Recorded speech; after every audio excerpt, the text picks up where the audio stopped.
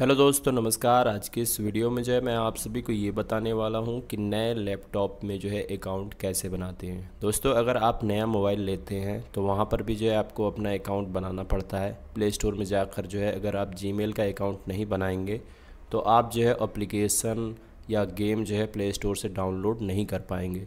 तो उसी प्रकार से जो है, अगर आप लैपटॉप में भी अपना अकाउंट नहीं बनाएँगे, यहाँ पर जो है, माइक्रोसॉफ्ट का अकाउंट बनता है। तो अगर अकाउंट नहीं रहता है तो आप माइक्रोसॉफ्ट स्टोर में जाकर कोई भी अप्लीकेशन या कोई भी गेम जो है डाउनलोड नहीं कर पाएँगे। तो दोस्तों, कुल मिलाकर इस वीडियो में जो है मैं आप सभी को ये बताने वाला हूँ कि नए लैपटॉप में जो है अकाउंट कैसे बनाया जाता है। तो चलिए बिना समय गवाए वीडियो को शुरू करते हैं।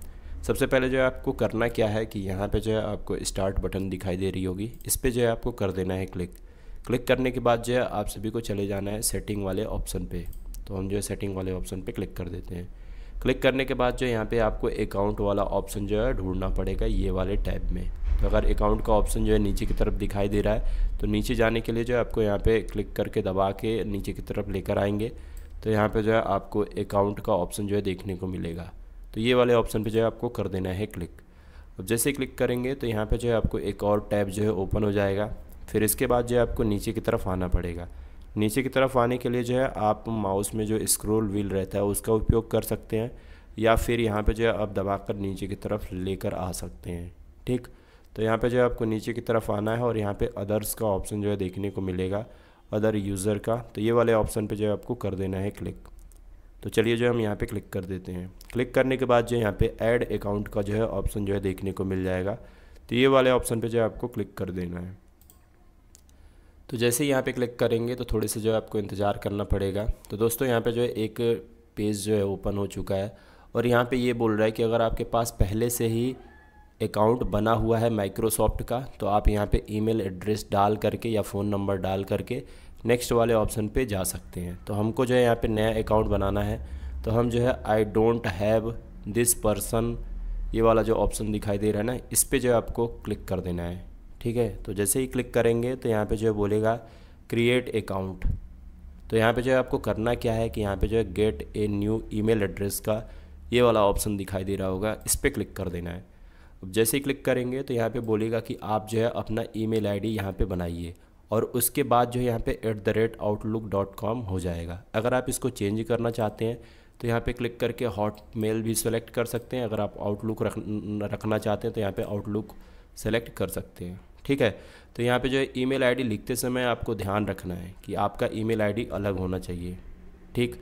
जैसे कि मेरा ईमेल आईडी पवन यादव है at the rate Outlook dot com तो आपका जो है Pawan Yadav at the rate Outlook dot com जो है अकाउंट यानी कि ईमेल आईडी नहीं रहेगा। आपको जो है यहाँ पे कुछ अलग लिखना पड़ेगा। तो आप क्या कर सकते हैं कि अपने नाम के आगे एक दो नंबर लिख सकते हैं, या बीच में जो है एक दो नंबर लिख कर फिर अपना नाम लिख सकते हैं। तो इस प्रकार से जो है आप अपना ईमेल आईडी क्रिएट करिएगा। तो चलिए जो है मैं जल्दी से यहाँ पे ईमेल आईडी अपना लिख देता हूँ। तो दोस्तों हमने जो है यहाँ पे अपना ईमेल आईडी लिख दिया है। लिखने के बाद जो है आपको करना क्या है कि यहाँ पे नेक्स्ट का ऑप्शन दिखाई दे रहा होगा, इस पर क्लिक कर देना है। तो यहाँ पे जो है आप देख सकते हैं कि इस नाम का जो है यहाँ पे ईमेल आईडी ऑलरेडी रजिस्टर्ड है। तो यहाँ पे जो हम कुछ यहाँ पे नंबर जो है अलग लिख देते हैं और फिर से जो हम नेक्स्ट वाले ऑप्शन पे क्लिक कर देते हैं। तो जैसे क्लिक करेंगे तो यहाँ पे जो है आप देख सकते हैं कि यहाँ पे लिखा हुआ देखने को मिल रहा है कि हमारा ईमेल आईडी यहाँ पे शो हो रहा है। तो इसका मतलब ये है कि ये वाला ईमेल आईडी जो है यहाँ पे अवेलेबल है। उसके बाद जो यहाँ पे बोल रहा है कि पासवर्ड बनाइए। तो यहाँ पे सिंपल जो है आपको आठ अंकों का पासवर्ड लिख देना है। पासवर्ड लिखते समय आपको small letter, capital letter, symbol और नंबर का प्रयोग करेंगे तो बड़े आराम से आपका पासवर्ड बन जाएगा। तो चलिए जो मैं जल्दी से यहाँ पे पासवर्ड लिख देता हूँ। तो दोस्तों, हमने जो यहाँ पे अपना पासवर्ड लिख दिया है। लिखने के बाद जो यहाँ पे नेक्स्ट का ऑप्शन दिखाई दे रहा होगा, इस पर क्लिक कर देना है। अब जैसे क्लिक करेंगे तो आपसे पूछेगा आपका फ़र्स्ट नेम और यहाँ पे लास्ट नेम तो आपको जो यहाँ पे जो भी आपका नाम है, जैसे कि अजय तो अजय यहाँ पे लिख देना है। अगर आप विश्वकर्मा है, शर्मा है तो यहाँ पे शर्मा या विश्वकर्मा जो भी आपका सर नेम है लास्ट नेम है, उसको यहाँ पे लिख देना है। तो चलिए, जो मैं जल्दी से इसको भी भर देता हूँ। तो दोस्तों, यहाँ पे जो है मैंने अपना नाम लिख दिया है, उसके बाद जो है नेक्स्ट वाला ऑप्शन दिखाई दे रहा है। इस पर आपको कर देना है क्लिक क्लिक करने के बाद जो यहाँ पे कंट्री सेलेक्ट रहेगी आपकी इंडिया उसके बाद जो यहाँ पे बोलेगा डेट ऑफ़ बर्थ अपना लिखिए। तो जो भी आपका महीना है, वो महीना यहाँ पे सेलेक्ट कर लेना है। डेट जो है यहाँ पे सेलेक्ट कर लेनी है। ईयर जो है यहाँ पे लिख देना है। यानी कि साल जो है यहाँ पे लिख देना है। तो चलिए जो मैं यहाँ पे डेट ऑफ़ बर्थ जल्दी से लिख देता हूँ। तो दोस्तों यहाँ पे जो है मैंने अपना डेट ऑफ़ बर्थ लिख दिया है उसके बाद जो है नीचे की तरफ़ आना है और यहाँ पे नेक्स्ट का ऑप्शन दिखाई दे रहा होगा इस पर जो है आपको कर देना है क्लिक अब जैसे क्लिक करेंगे तो यहाँ पे जो है थोड़ी सा आपको इंतज़ार करना पड़ेगा और यहाँ पे जो है बोल रहा है कि हमारा अकाउंट जो है क्रिएट होने वाला है लेकिन आपको जो है नीचे की तरफ़ चले आना है यहाँ पे नेक्स्ट का ऑप्शन दिखाई दे रहा होगा इस पर क्लिक कर देना है जैसे क्लिक करेंगे तो यहाँ पे जो है बोल रहा है कि आपको जो है वेरीफाई करने के लिए अकाउंट वेरीफाई करने के लिए यहाँ पर बोल रहा है कि इस तरफ़ जो है इस कुल्हाड़ी के चेहरे को करना है तो चलिए जो हम यहाँ पे इस तरफ़ इसका चेहरा कर देते हैं और सबमिट वाले ऑप्शन पे क्लिक कर देते हैं। फिर उसके बाद जो यहाँ पे घोड़े का जो मुँह है, वो इस तरफ़ होना चाहिए तो हम जो है यहाँ से इसके चेहरे को जो है इधर उधर चेंज कर सकते हैं, ठीक है? तो उंगली जो है इस तरफ़ है तो यहाँ पे जो है घोड़े के चेहरे को जो है हमने उस तरफ़ कर दिया सबमिट वाले ऑप्शन पे क्लिक कर देना है। क्लिक करने के बाद यहाँ पे बोल रहा है गाड़ी के फ़र्स्ट वाले हिस्से को जो है इस तरफ़ करना है तो हम जो है यहाँ पे इसको सामने की तरफ़ इस तरफ़ जो है कर देते हैं सबमिट वाले ऑप्शन पे क्लिक कर देते हैं। उसके बाद जो यहाँ पे फिर से डायरेक्शन चेंज करने को बोल रहा है तो हम जो यहाँ पे यहाँ पे कर देते हैं और सबमिट वाले ऑप्शन पे क्लिक कर देते हैं।